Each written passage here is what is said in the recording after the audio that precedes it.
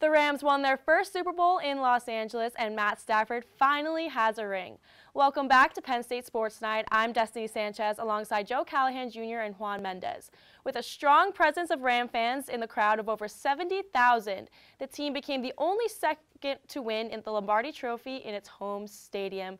Joe, I'll start with you. The Rams came a long way to get to this point. What were some key factors in this game that allowed them to hoist the Lombardi Trophy? Well, first, guys, I'm disappointed. And the reason why I'm disappointed is because I picked the Bengals to win last week. And I could go into the refs being not consistent for the first three quarters and then suddenly wanting to call penalties in the fourth. I can get to that. I could talk about the secondary and the O line, who I had trust in last week and then fumbled the bed. I, I just disappointed in the veteran Tyler Boyd.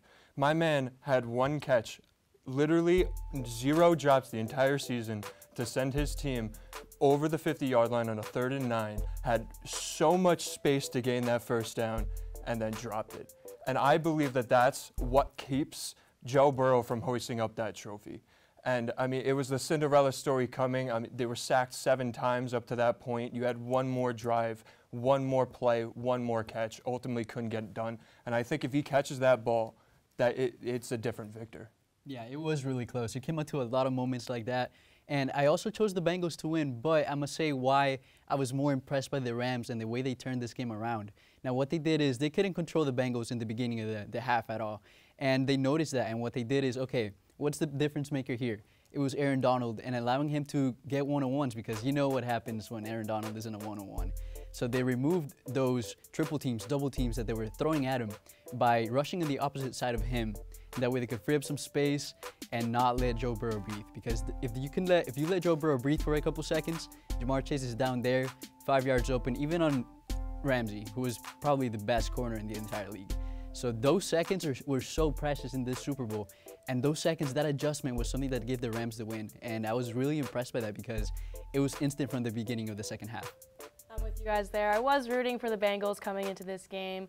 But I got to say, um, coming into that first quarter, I just sensed a lot more urgency from the Rams. You made a good point. Those little things is what matters to this end result. And, you know, there were a lot of standout players that are crucial factors to this end result. So, Juan, I'm going to start with you. Who were some players that stood out to you in your eyes? I'm going to talk about an X factor on offense because we know Donald did his thing in this game. But I'm going to talk about Cooper Kupp because, well, Offensive Player of the Year, he was the MVP of the Super Bowl. And what they did is they knew to use him more. He, got, he had eight catches, but they really sparked in the third quarter when they were switching everything around. All the momentum carried over. Once Stafford knew, okay, wherever he is, I'm going to give this guy the ball because he knows what to do with it. He was making a fool out of Eli Apple. And you could see that in how comfortable Matthew Stafford was throwing that ball up. They isolated that. You could see it coming from a mile away. He knew, I'm going to throw it up. Eli Apple's not going to turn around. And Cooper Kupp, the best offensive player in the entire league, is going to make a play. So I think he's the standout player by a lot of reasons, and that's why he was crowned as the MVP.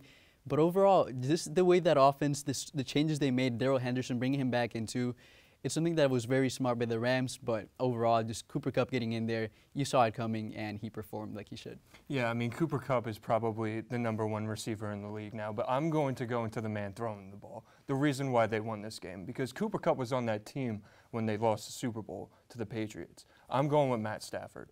Over 275 yards through the air, three touchdowns, and realistically only one interception. The second one wasn't really his fault. And really only two questionable throws after that, the one to Van Jefferson in the end zone, and then the behind the bell, uh, behind the receiver and toward OBJ's hamstring. I mean, if, if, we're talking about what swayed that game, Odell's injury is definitely up there. But I mean, Jared Goff, that trade coming back from you know th that Super Bowl year, then having the down year, and then now you trade him for a star-studded Matthew Stafford. I mean, Matt Stafford might be the actual Matty Ice. Don't come at me with Matt Ryan anymore. My man has consistently won comeback games on the Lions. You look at that record that he had in, on that team, and it could have been worse without his game-winning drives to come to the, this team in the first year and win the Super Bowl. You got to give him his props.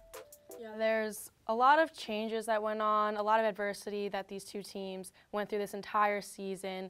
Where do you guys see these two teams in the future, um, moving on to next season?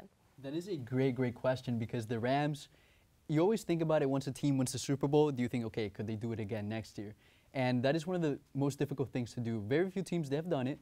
It's possible, but it's extremely, extremely difficult. Now, this team, what they did throughout the season was pick up a bunch of puzzle pieces, close, thing, close things around, figure it out as they go, especially with OBJ, great signing, Von Miller, another great signing, getting his second ring. And they signed Eric Weddle, who retired, I believe, two years ago on that Rams team. Those little pieces that they picked up, the only problem with that is that a, a lot of them were temporary. They were for this season, they were for one year, and they have a lot of money to spend if they want to bring a roster this good once again. So I'm really looking forward to see what the Rams can do, but also a lot of teams know the power that they have. They know the assets that they have when they're healthy because they had all running backs healthy as well in this one. And once Woods come back, we'll see what they do with uh, OBJ again if he recovers. Hopefully he's all fine.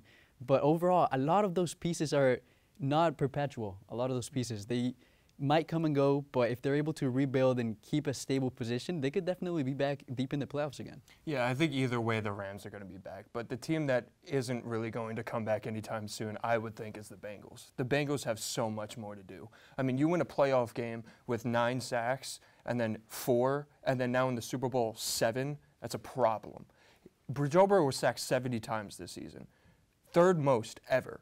That's a problem. Their secondary, again, Eli Apple should not be a number one corner on a team. Uh, you, you, saw that in New York when he got traded from there. A- and now you bring it to a Super Bowl team, unfathomable what Joe Burrow has done. But they have to rebuild the entire O line in my mind, and they have to rebuild the entire uh, secondary except for Awuzie. I think he's the only one that is safe on that team or on that secondary at all. I think they have to rebuild that entire thing. And what's what's scary is they don't have the draft picks to do it. They have a lot of cap, but they're not going to get a, a, big draft pick because they made it to the Super Bowl. Unfathomable how. But th- this team just has so much to do with so little assets that they just have to hope for free agents, trades, or something like that. Because or they have to hope for a second round, third round pick on the O line, maybe late first, to just pop off and go nuts. Yeah, you're absolutely right. I think the Bengals do have a lot of rebuilding to do. But overall, I felt the game was pretty interesting, pretty intense the entire time, back and forth. Um, and the overall season, what a great season, I think. It was a great season to watch. That's all we have for this edition of Penn State Sports Night. For Joe Callahan and, jo- and Juan Mendez, I'm Destiny Sanchez, and we'll see you next time. Hey, everybody. Thank you for tuning into this edition of Penn State Sports Night. We hope you like that segment. And we're sure there's other Penn State Sports Night segments that you are going to love as well. Be sure to subscribe to our YouTube channel for more content. And check us out on social media for updates and behind the scenes clips and pics. Follow us on Twitter at PSSNTV and on Instagram at PSU Sports Night to keep up with all the action. For all of us here at the Bellisario Media Center, we are Penn State Sports Night.